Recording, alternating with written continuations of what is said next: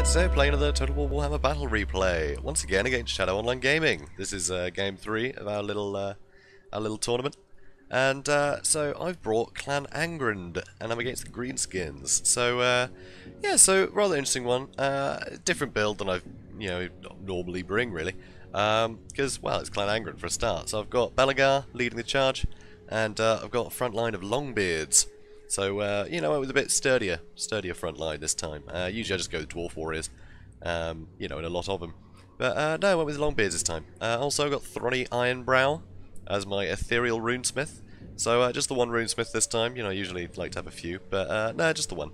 But um, he's Ethereal, so he's going to be really tough to take down. Because, yeah, Greenskins, they don't have a lot of answers to Ethereal units, so that'll be good fun. And so, yeah, as well as Belegar here, I've got the Grumbling Guard, keeping everyone fresh uh, in case there's a prolonged fight. So uh, that's really useful. And uh, also got some Rangers Great Weapons and uh, Ulthar's Raiders, which are again, you know, Rangers Great Weapons. Regiment of Renown. So they got uh, Mark of Ulthar, which uh, lowers the enemy's mi uh, missile resistance, which is really handy. And also, now, I don't think I've ever brought these to a fight, I've got the Iron Drakes with Trollhammer torpedoes. So if he brings a giant or anything like that, they can uh, they can just take him down. So that'll be really fun. So I thought I'd give them a go. Uh, they don't, they're not the most competitive, but they're fun, so screw it. And uh, also, I've got the Dragonback Slayers because uh, they're, they're pretty much a must, much like the, uh, you know, the Grumbling Guard. They're just too useful for chasing down, you know, cavalry or whatever. They're, uh, you know, they're fantastic. They're they're pretty much the Dwarf's answer to spearmen, so you know, it's all good fun. Now, uh, yeah, once again, Shadow's brought a themed army, um, but yeah, he's going against the dwarves, so his theme is sort of yeah, it's gonna hurt him a lot. so he's got, he's brought savage orcs. He's brought a savage orc army, and uh, he went with all Big 'Uns. Um, well, mostly Big 'Uns. Uh, so he's got a lot of Big 'Uns in the front line. He's got some savage orcs on the edges. He's got uh, savage orc arrow boys. Uh, he's brought Wurrzag, and uh, he's also got a load of uh, savage orc boy, boar boy Big 'Uns, which um, this isn't really great against dwarves because they're all anti-large units all the uh, the you know the big. I mean they're they're really tough fighters and everything, but you know you're you're spending a lot of money on uh, you know the sort of the anti-large um, you know bonuses for them, and you could just have a lot more units. So because uh, obviously the Savage Orcs they've got really good uh, they've got really good attack stats. So yeah, 38 weapon strength is pretty formidable, and uh, yeah 41 melee attack it's pretty good. They're pretty tough. Uh, they can, you know, they can dish out a lot of damage, even though it's not armor piercing. Uh, but they got that uh, physical resist, which is really handy. So, um, you know, you could easily just swarm dwarves with loads of savage orcs, and you could probably do some pretty substantial damage, you know, get them surrounded. But, um, yeah, he's got a lot of big which he spent a lot of money on, and I'm not sure that was wise, but this army is really good fun. Um, you know, I love the theme, you know, proper savage orc army, which is really good, and obviously Wurrzag leading the charge, you know, so, uh, you know, the great green prophet that he is. So, that's really fun. So, uh, let's speed things up and see what happens. So, uh, immediately he sends these guys off to one side, um, you know, get ready to flank. Uh, luckily it's on the side, I've got my Dragonback Slayers, but that's a lot of units, that's four units of cavalry, so I'm not going to be able to fight them all off with the Dragonback Slayers. Um, that's going to be tough. So um, I'm going to have to peel off a unit of Longbeards as well. And also, I've got my uh, Rangers facing in that direction. Because, uh, yeah, those great weapons, they're going to do serious damage. But they are very short range. So I'm only really, if he charges in, I'm going to be able to get one shot off. Um, so I just have to hope that damage matters, you know. And uh, I do have the Trollhammer torpedoes facing their way as well, because uh, those projectiles I'll just tear through pretty much anything. So, um, so here, knowing that my Ethereal Lord isn't in a, uh, you know, isn't in too much danger, uh, not Ethereal Lord, Ethereal uh, uh, Runesmith. Okay, that's that's annoying, but it didn't do too much damage. Obviously, they got magic resistance, um, but still. So uh, yeah, so I get a nice uh, Rune of Wrath and Ruin on these guys, and uh, just teasing him at this point, and then retreating back. So, so that's good fun.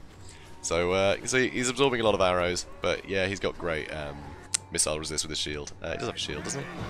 Uh, oh no, he doesn't have a shield. It's just because he's ethereal, he's not taking any damage, so that's good news. So here, I decide to charge in. He uh, he does the same.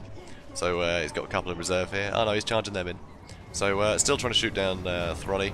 So I'm happy for him to absorb arrows, because it's taking almost no damage. So here, I've got one unit of Longbeards and one unit of Dragonback Slayers, trying to hold these guys off. So you see Trollhammer torpedoes come in, do a load of damage. Um, so that's really significant. Um, but those Slayers got hit a lot. And here comes a big foot of Gork. That hurts. But actually, it did way more damage to the Savage Orcs than me. Um, so that's really good news. Uh, it did do a lot of damage to the Longbeards, actually. Um, but yeah, I didn't have enough guys clustered for that to be really devastating. Um, thank God. But so here, you know, still hitting with the troll hammer torpedoes, doing a lot of damage. The Slayers have taken a huge amount of damage, but they're still on them, so that's good. So uh, yeah, so that's something. So now I've got these uh, Rangers great weapons sort of thrown to the side of these guys because um, they protrude out so much because, you know, he has just got such a bigger army than me. Uh, here it would have probably been really useful for him not to commit all of his front line into my front line, but actually get some guys around the back because he does spare units. So, um, you know, could take advantage of that. And even if he did like get that front line out of the way, I would have just been getting, you know, shot in the back while I dealt with whatever he sent behind. So uh, here tries to charge into my Longbeards, but they've got great charge defense. So these Savage Old Boy Boy, boy Big 'Uns, um, yeah, they, they just got broken trying to do that. That was huge. So another spell goes down, does a bit of damage. But um, here, he's actually got Wurrzag in melee, which, uh, again, it's a bit of a mistake, because I'm able to bully him with uh, with uh, Throny and Belegar, and he does have all these Longbeards around him. So yeah, really tough.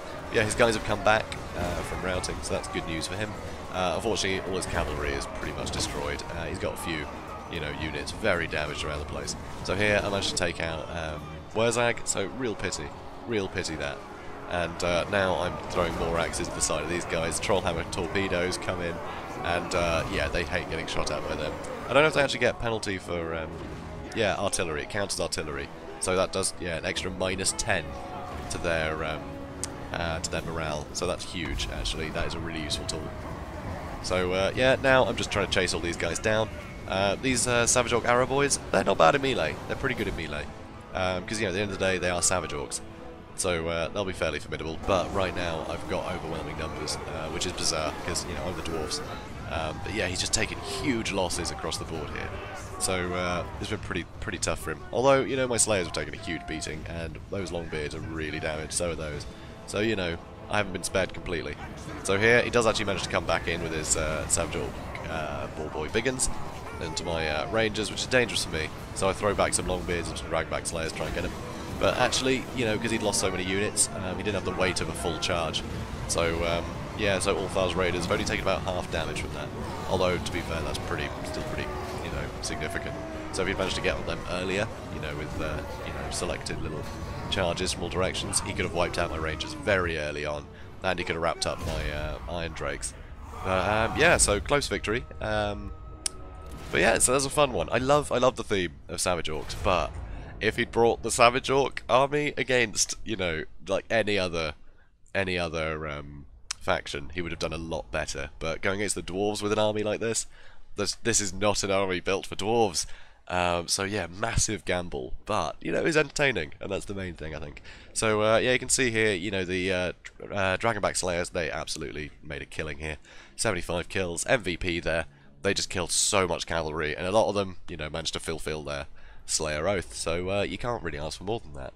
Uh, also, you know, Throny, he was getting targeted so much, but, you know, he's totally fine. Um, you know, he can still fight for ages. So, ethereal units against the greenskins, just so, so useful.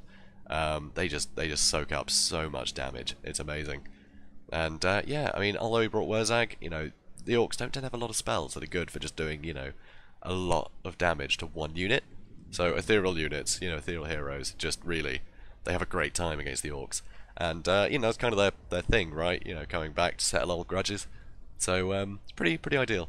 And, uh, yeah, my long beards, they held the line. Um, took a lot of damage, though. I mean, look at that. They did, got 32 kills, but you know they lost as many units. Um, so yeah, that was uh, that was actually tough. That that Savage Orc charge did do a considerable amount of damage, but he yeah he didn't spread them out enough.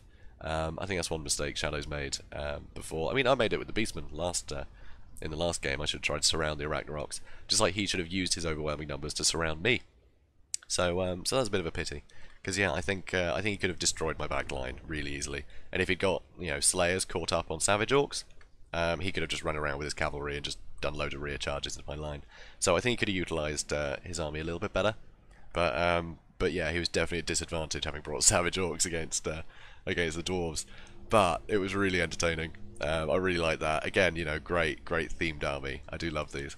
So um, yeah, so guys, uh, obviously this is uh, game three of five games in our best of five.